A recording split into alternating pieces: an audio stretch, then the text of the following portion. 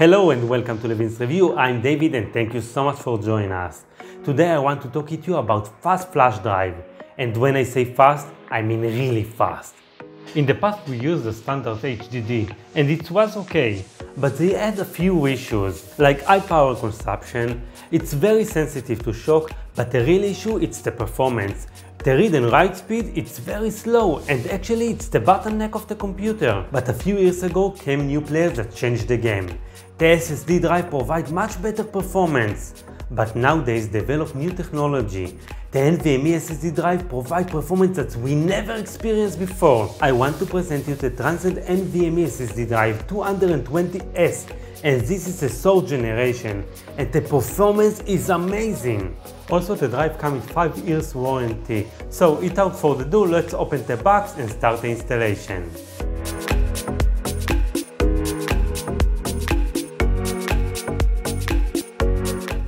This is the NVMe slot. And all what we need to install the NVMe drive is a screwdriver. So let's open the screw.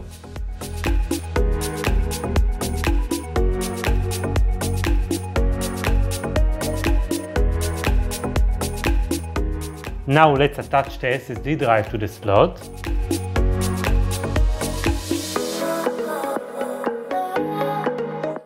And let's close the screw.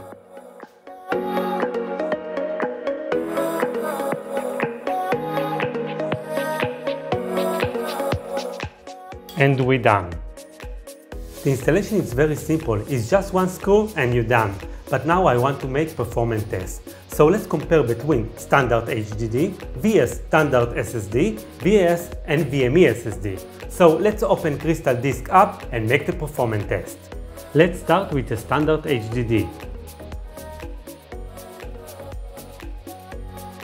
From foresight you can see that this drive has a very low performance and I don't think that we have much to talk about because this is too old technology for nowadays. So let's move on to the SSD. When we look at SSD performance, the read speed is 12 times faster than HDD and the writing speed is 10 times faster.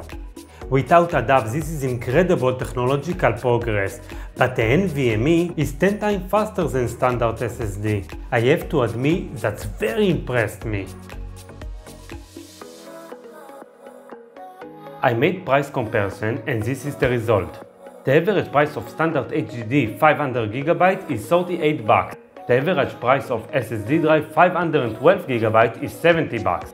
And the average price of Transcend NVMe SSD 512GB is 80 bucks. The NVMe provides much better performance by far, but the difference in the price is very small, so don't think twice and get the best performance for your computer.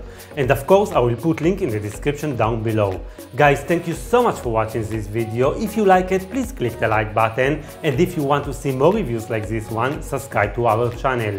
If you have any comment or questions, let me know in the comments down below. And like always, I wish you a beautiful day. And of course, I will see you in the next video.